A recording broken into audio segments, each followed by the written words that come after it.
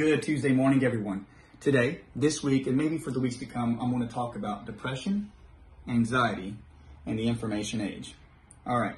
In our culture today, they say that 70% of the world owns a smartphone. And they say that two hours a day we actually look at the smartphone.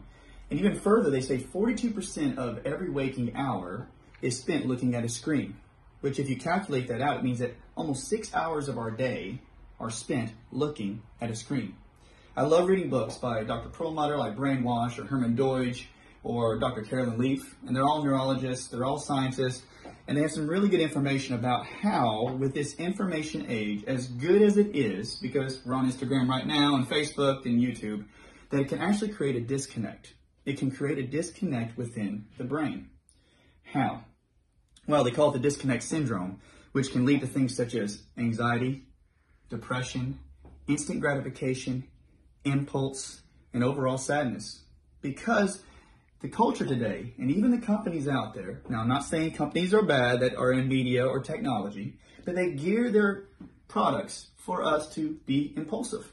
Why? We live off dopamine. Dopamine is a pleasure chemical, a feel good chemical. So when we get that stimulated, our body creates a circuit to keep firing the dopamine. Now, dopamine will rise, and what happens is the brain works overtime to keep your brain balanced. So, the companies will stimulate your brain, our culture will, to make you feel pleasure at all times. And when this occurs, the brain will actually reduce the receptors on the cells for dopamine because you're getting too much.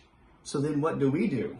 We actually will crave things or try to stimulate more dopamine receptors with what? Sugar, alcohol, chocolate, gambling, binge shopping, anything to hit that fix. Why? And we do it with our technology. The first thing we do when we wake up within the first 15 minutes is what? Look at our phone. We need the dopamine hit. And companies know that. And our culture knows that. So as we keep stimulating dopamine, we reduce the dopamine receptors, and then we have to crave more. And what does that lead to? Decreased pleasure. It's not happiness because it's an imitation of joy. So we have to get instant gratification, leading to some impulsive thing, and we realize it doesn't bring joy. That's how our culture works. That's how the brain works. Now, we said impulse, instant gratification, depression, and this creates the disconnect. And it all comes down to the brain, guys. The brain has two parts that I'm going to talk about today, and we'll get further into it the next few days. One's called the prefrontal cortex. The prefrontal cortex is the area of your brain right here that helps you make great decisions, helps you calculate, helps you take the whole situation in and make a sound judgment. But in today's society, we stimulate the amygdala. And the amygdala is the portion of your brain that does what? It encounters threat interpretation. It actually helps you take an idea or a thought and see if it's a threat.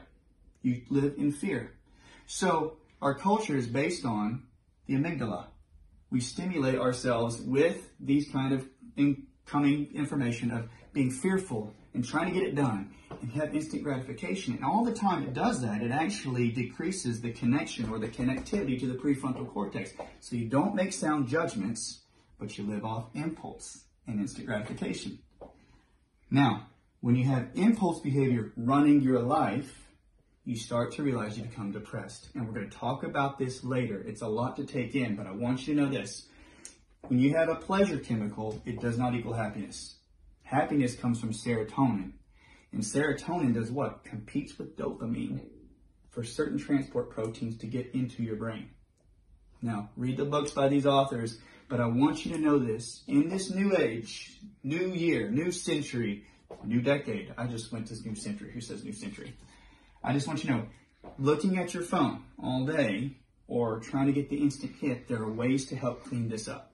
So when you clean it up, you can do certain things with your diet, with your daily schedule, with not even looking at your phone in the morning till a certain set time. You don't want to keep firing the dopamine. Keep decreasing the amygdala response and start living in the prefrontal cortex. All right, guys, that was a lot, but I want you to know that there are simple ways to decrease depression and anxiety just by reducing some of the things in your life. Guys, I hope you have a good day. This is a lot about the brain. I love y'all. See ya.